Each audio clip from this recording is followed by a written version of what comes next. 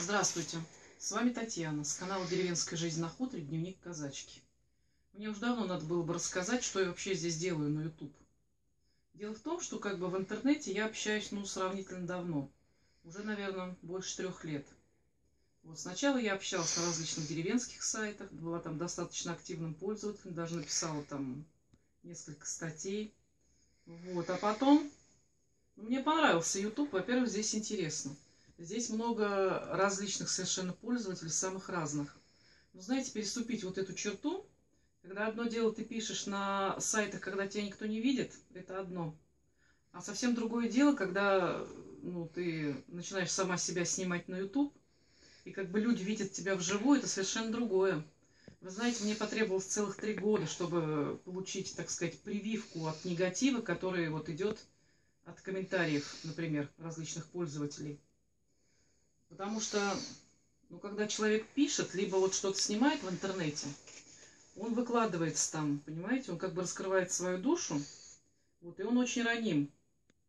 А комментарии, ну, бывают самые разные, у всех людей взгляд на это все разный.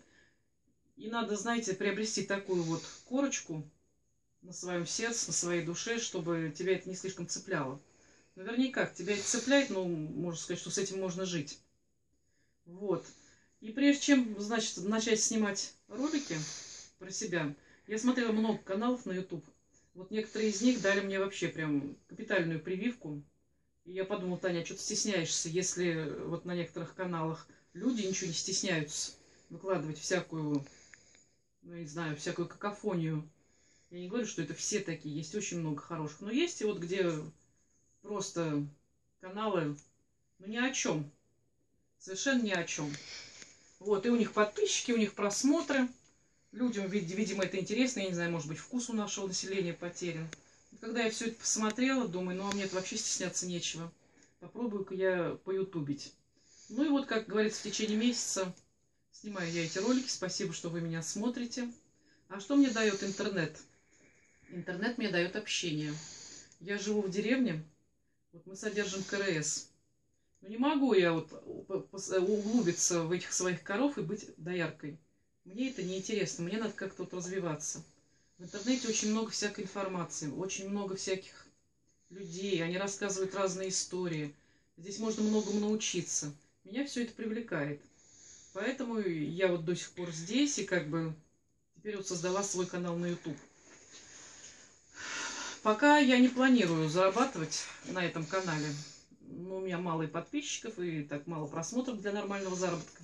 У нас как бы доход идет совершенно с другого, поэтому, поэтому я как бы не гонюсь, не выкладываю там скандальные ролики, я стараюсь выкладывать только то, что вот на самом деле интересно. Ну и мне, и людям.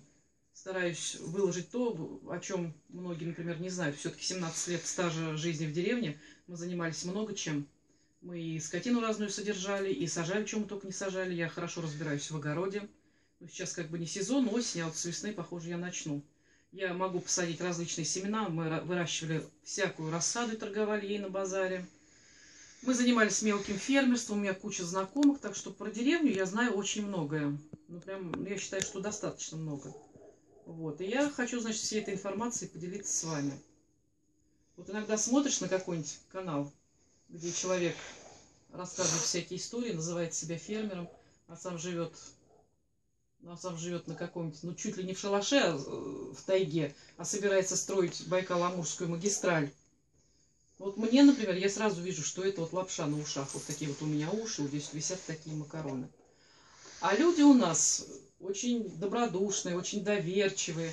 Они всегда, я имею в виду те, кто смотрит, они всегда, знаете, они подходят вот ко всем авторам ну, с добром. Вот, они видят в них только хорошее, стараются видеть. Они, ну, хороший у нас народ. Вот в общей массе он хороший. И я говорю, он, видать, от того, что он сам такой хороший, он думает, что и, и в тех, кто вот это все снимает, есть только хорошее все. Вот, поэтому, как бы и комментарии у них замечательные и верят они всему на слово. У нас было множество всяких историй, вот пока во время моего общения как бы на сайтах в интернете. Вот, там многие попадали и на развод вот таких вот хороших людей, которые, знаете, сам ничего из себя не представляет, но зато он хорошо разговаривает, у него там великий план по постройке Байкал-Амурской магистрали. И вот он призывает людей как бы помогать ему строить, участвовать деньгами в этом деле. Многие на это покупаются. Вот. А пользователи, комментаторы еще в этом поддерживают. Ну да, ты иди, если ты не попробуешь, что ты ничего не узнаешь. Вот этот человек туда идет, теряет там свои деньги. Вот, а потом, значит, ну как бы возвращаясь назад, те, кто его туда усиленно посылал, уже молчат.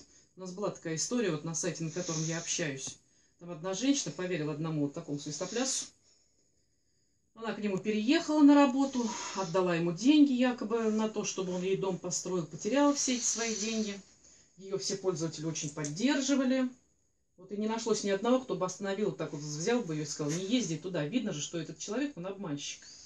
То есть это я к чему говорю, что характер у нашего народа, ну, очень добрый. Он везде видит хорошее. Ему вешают лапшу на уши, а он считает, что это вот правда. Вот. И также, что это касается деревенских каналов, там у некоторых пользователей очень много лапши. Ну, не знаю. Я, например, это сразу вижу. Я вижу, что из этого ничего не получится, потому что у меня опыт большой. А некоторые ведутся, подписываются, смотрят там такие комментарии. Ну, это как бы личное дело каждого. Я думаю, что там какое-то время пройдет, и все равно все это вскроется. Вот потому что в общей массе народ не обманешь. И вот этот интернет, я вам еще раз говорил, дает мне общение. Я не думаю, что я когда-нибудь это оставлю. Вот, я так и буду либо где-то на сайтах общаться, либо вот снимать ролики. Спасибо, что вы меня смотрите. До свидания.